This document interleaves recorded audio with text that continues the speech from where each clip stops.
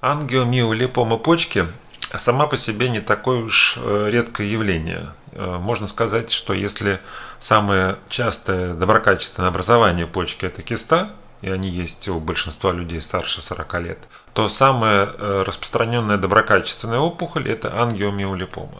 В подавляющем большинстве случаев они нас не сильно интересуют, поскольку это, как правило, маленькие опухоли до 1 см, которые, кроме наблюдения с помощью ультразвука никакого другого внимания не заслуживают. И таких опухолей мы видим много, и, как правило, чаще они встречаются у женщин. Опухоли большого размера встречаются исключительно редко. Я видел опухоли 3-5 сантиметров, но вот такую опухоль, как здесь, э, диаметром, в наибольшем размером, вернее, 15 сантиметров, я увидел за 25 лет своей работы впервые.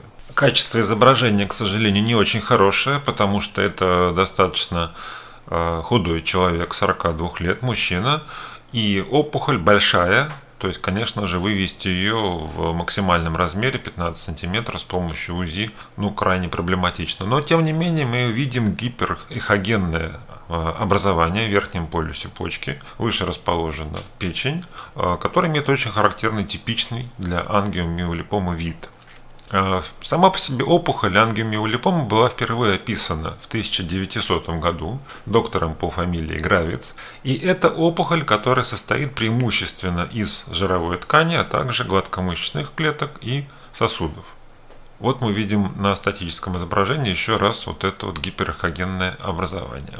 А вот, собственно говоря, компьютерная томография этого пациента. И нужно сказать, что жалобы у него отсутствуют. Эта опухоль была выявлена случайно. Э, делали компьютерную томографию совсем по другому поводу, но мы вот видим прекрасно здесь э, вот это вот образование с максимальным размером 15 сантиметров в правой почке. Нужно сказать, что это не самые большие размеры, которые описаны в литературе. Вот я тут позаимствовал у коллег э, такое наблюдение. Мы видим гигантскую опухоль, да, гигантскую, 37 сантиметров у молодой женщины, 37 лет. Опухоль единственной левой почки. Вот она показана. Э, собственно говоря, почему нас интересует ангиомиолипома и что с ней нужно сделать? Ну, несмотря на то, что это доброкачественное образование, э, существует риск разрыва. Разрыва этой опухоли, поскольку она очень непрочная.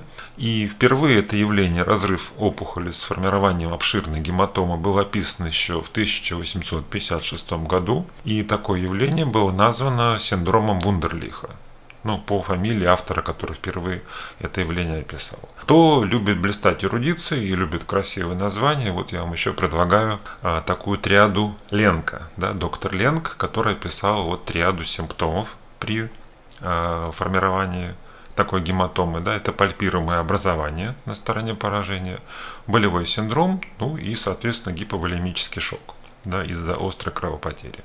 На данном снимке мы с вами видим ангиограмму мы видим ветви почечной артерии в ангиомиолипоме больших размеров, и мы понимаем, что при разрыве такой опухоли кровотечение может быть весьма и весьма массивным, с формированием обширной гематомы, иногда с разрывом фасции герота и с истечением крови в брюшную полость. Поэтому такие пациенты должны быть экстренно госпитализированы.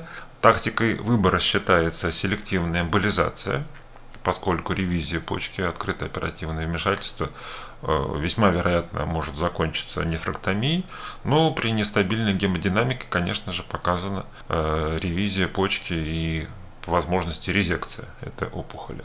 Если же мы говорим о плановой ситуации, об опухоли, которая была выявлена с помощью УЗИ, подтверждена с помощью компьютерной томографии, а, то здесь у нас есть э, выбор из скажем так, четырех пунктов. Во-первых, это динамическое наблюдение. Во-вторых, это, как я уже сказал, селективная эмболизация с уменьшением последующим размеров ангиомиолипомы. Третий вариант – это оперативное лечение, резекция почки.